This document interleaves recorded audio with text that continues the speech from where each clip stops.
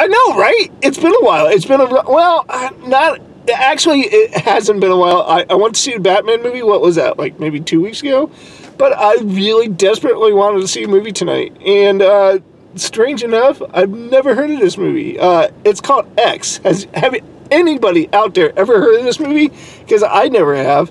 Uh, to be honest with you, I just wanted to, I wanted to go out. I wanted to see a movie. That's what led me here today. Uh, I went on to the uh, Cinemark uh, uh, webpage and I saw, uh, you know, all the movies that I've already seen. And then I came up with this one. It looks like a smaller budget movie.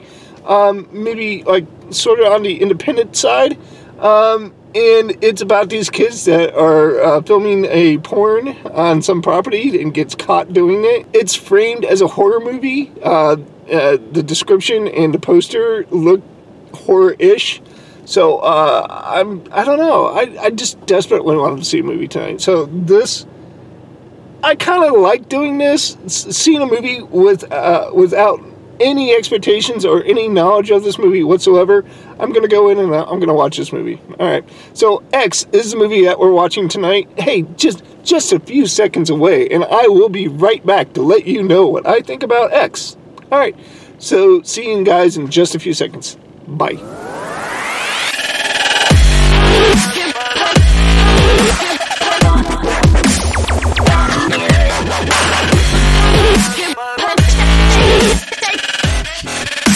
Well, guys, this, this review is not going to be long.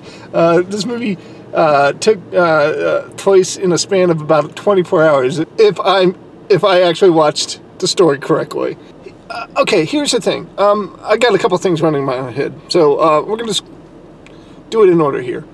there's a small moment in the very beginning of the movie where so, one of the girls decides to skinny dip in the local lake. Um, and unbeknownst to her, uh, there is uh, either a crocodile or uh, an alligator.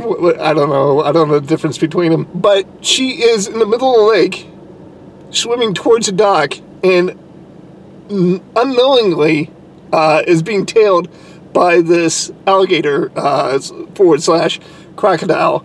Um, and it, it's like the laziest, slowest chasing you'd ever want to see but it just adds to that that uh, that um, suspense.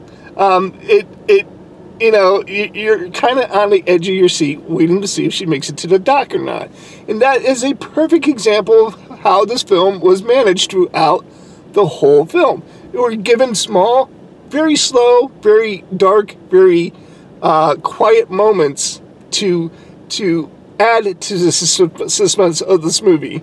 Um, yeah, it was. All right, so let's boil it down to its bare as, uh, essence. And it's basically, like I said, it's a cabin in the woods story. And the antagonists, who I keep on alluding to and never tell you, are the two elderly couple that live in the the manor, the the main house. Um, and it just it it didn't work for me. It didn't work for me in that in that respect. Uh, they, they were not that intimidating to me.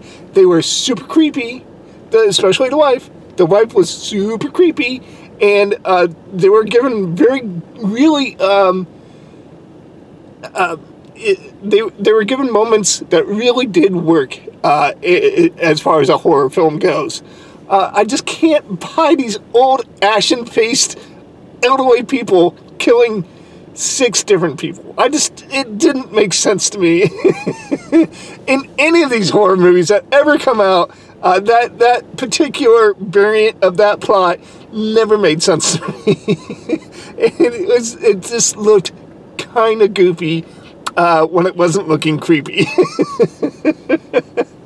It, do you guys remember a movie? There was a movie called The Visit. That's what this reminds me of.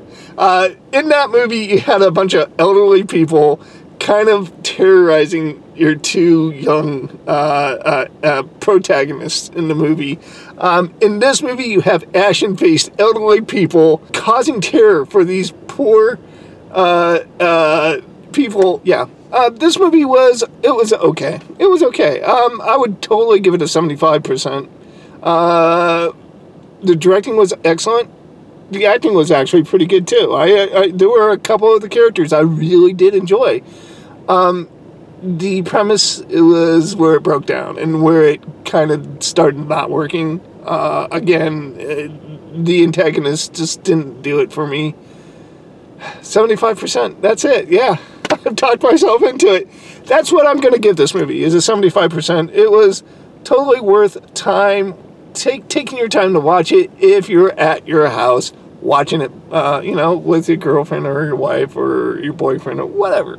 Um, it is totally worth your time to, to watch it as long as you're not going out to the theater. If you go out to the theater, you're kind of wasting your money and your time and your, you know, your your precious time that you don't have time to waste. Uh, and that's what that's what I'm doing. I'm wasting my time so that you don't have to waste yours. There you go. Uh, 75% is the best I'm going to give this movie. Uh, hey, there's a bunch of movies coming out. I, you know, and there's a, just a few of them that I actually want to see. uh, I promised that I would go see uh, Sonic 2. I did a review for it. I went with my one of my good friends, Doom, uh, and his wife, uh, Kayla, and I'm probably going to do that again. Uh, that's coming up. I saw the poster in there. It is uh, April 8th. So, what, three weeks away? Two weeks away? Something to that effect. April is coming up, and that means that the drive-in theater is opening up, so you'll see me there as well. Um, but I'm done wasting your guys' time. 75% for X is the best that, that movie is going to get. Um, guys, that's it. I had a fun time talking to you. I hope you had a fun time listening to me. And uh, leave a comment down below. But other than that, I am out of here. As always, peace. Montenay. I will talk to you guys later, and goodbye.